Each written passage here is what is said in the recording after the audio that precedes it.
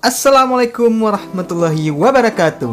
Halo semua, IA Ilmi di sini dan ini adalah tutorial membuat foto ucapan selamat hari raya Idul Adha seperti contoh foto di awal video ini.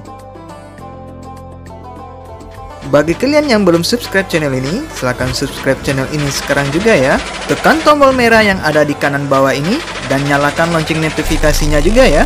Dengan mensubscribe channel ini, kalian telah mendukung channel ini untuk terus berkembang dan terus berbagi ilmu kepada kalian semua. Terima kasih. Untuk membuat ucapan selamat hari raya ini, yang pertama kalian membutuhkan browser. Bisa browser bawaan atau browser tambahan kalian. Setelah terbuka browser kalian, lalu tuliskan di mesin pencarian kalian yaitu remove bg. Remove bg ini gunanya untuk menghapus background bawaan kalian. Dan jika pencariannya telah muncul, maka pilih yang paling atas. Dan jika telah terbuka seperti ini, pilih upload image. Lalu pilih file. Lalu pilih foto yang akan kalian hapus background bawaannya. Tunggu beberapa saat sampai proses penghapusan backgroundnya selesai jika proses penghapusan backgroundnya telah selesai, maka pilih download yang ada di bawah ini. Dan foto kalian telah tersimpan di folder download atau unduhan dengan background bawaan yang telah terhapus. Selanjutnya, untuk pengeditan membuat ucapan selamat hari rayanya, kalian membutuhkan aplikasi Pixar. Jika sudah punya aplikasinya, maka buka saja aplikasi Pixarnya. Dan jika telah terbuka seperti ini, maka pilih plus yang ada di bawah ini. Selanjutnya, pilih backgroundnya. Background yang ada di video ini sudah ada link downloadnya di deskripsi video ini ya. Jadi kalian bisa mendownloadnya. Jika backgroundnya telah terbuka seperti ini, pertama, kalian pilih tambahkan foto. Lalu, pilih foto kalian atau foto model yang telah terhapus background bawaannya tadi lalu pilih tambahkan yang ada di kanan atas ini. Selanjutnya, atur ukuran dan posisi foto kalian atau foto model ini. Jika telah sesuai, selanjutnya saya akan menambahkan teks pada foto ini dengan cara pilih plus yang ada di kiri bawah ini, lalu pilih teks. Lalu tuliskan selamat hari raya. Jika sudah, maka pilih centang yang ada di kanan atas ini. Berikutnya saya akan merubah font tulisan ini dengan cara pilih panah yang ada di lingkaran merah ini, lalu pilih huruf saya, dan pilih fontnya. Font yang saya gunakan di video ini sudah ada link downloadnya di deskripsi video ini ya, jadi kalian bisa mendownloadnya. Untuk menambahkan font baru ke aplikasi Pixar, sudah ada link videonya di kanan atas ini ya, jadi kalian bisa menontonnya. Selanjutnya, saya akan merubah warna tulisan ini dengan cara pilih warna, lalu pilih icon ini, dan arahkan ke warna hijau ini, maka warnanya akan berubah. Berikutnya, saya akan menambahkan garis pinggir pada tulisan ini dengan cara pilih coretan, lalu pilih warna putih, dan atur jumlahnya menjadi 55. Jika sudah, selanjutnya saya akan menambahkan bayangan pada tulisan ini dengan cara pilih bayangan. Selanjutnya, atur ukuran dan posisi dari tulisan Selamat Hari Raya ini. Jika telah sesuai, saya akan menduplikat tulisan ini dengan cara pilih ikon layar yang ada di atas ini, lalu pilih duplikat.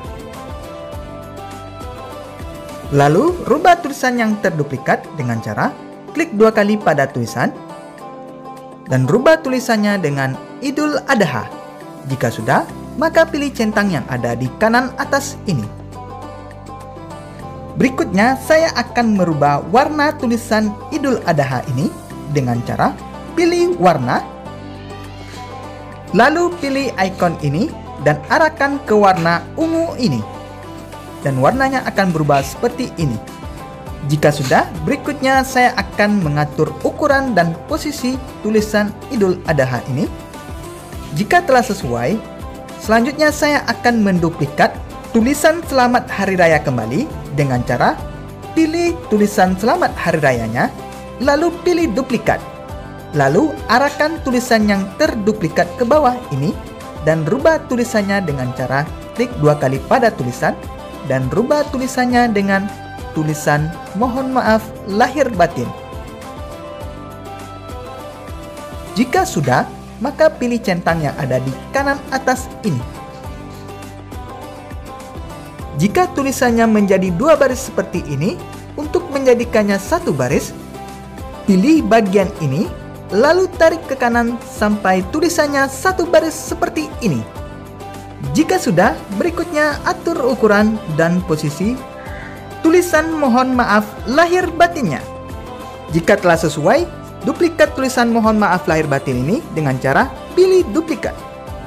Lalu arahkan tulisan yang terduplikat ke kotak ungu ini. Rubah tulisannya dengan cara klik dua kali pada tulisan, lalu rubah tulisannya dengan nama kalian atau nama yang menyampaikan selamat hari raya. Nama yang ada di video ini hanya sekedar contoh saja ya. Jika sudah, maka pilih centang yang ada di kanan atas ini. Dan jika terjadi dua baris seperti ini, seperti tadi, pilih bagian ini, lalu tarik ke kanan sehingga menjadi satu baris seperti ini. Berikutnya, saya akan mengatur ukuran dan posisi tulisan ini. Jika telah sesuai, saya akan merubah warnanya dengan cara pilih warna, lalu pilih icon ini dan arahkan ke warna emas ini. Maka warnanya akan berubah seperti ini. Foto ucapan selamat hari raya kalian telah selesai dibuat. Namun, saya akan mempertajam resolusinya atau memuluskan warnanya di aplikasi Remini. Sebelum ke aplikasi Remini, simpan dahulu foto ini dengan cara pilih centang yang ada di kanan atas ini Lalu pilih panah kanan yang ada di kanan atas ini. Lalu pilih lewati. Pilih simpan. Berikutnya saya akan mempertajam resolusi fotonya dan memuluskan warnanya dengan aplikasi Remini. Buka aplikasi Remini kalian. Dan jika muncul seperti ini, maka pilih skip saja.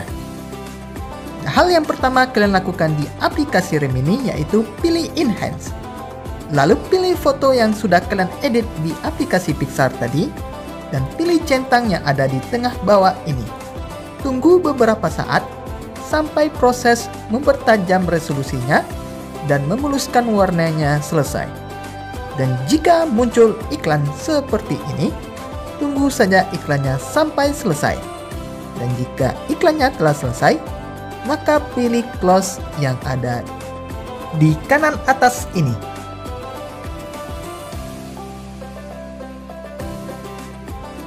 Dan inilah hasilnya, foto kalian telah dipertajam, resolusinya, dan telah dimuluskan warnanya oleh aplikasi Remini. Dan inilah perbandingannya. Ini sebelum dan ini sesudah dipertajam resolusinya oleh aplikasi Remini. Ini sebelum dan ini sesudah. Untuk menyimpannya, pilih ikon simpan yang ada di kanan atas ini. Terima kasih kalian telah menonton video ini. Jika video ini bermanfaat bagi kalian, silakan subscribe channel ini, like, komen, dan share ke seluruh sosial media kalian. Dan jika kalian telah mensubscribe channel ini, saya ucapkan terima kasih dan saya doakan semoga kalian panjang umur, sehat selalu, dan banyak rezeki. Dan sampai jumpa pada video berikutnya. Assalamualaikum warahmatullahi wabarakatuh.